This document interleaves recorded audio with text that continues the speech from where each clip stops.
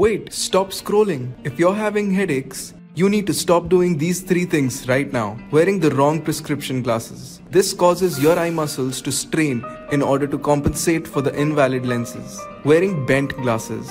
Other than being uncomfortable, this creates distorted vision as well.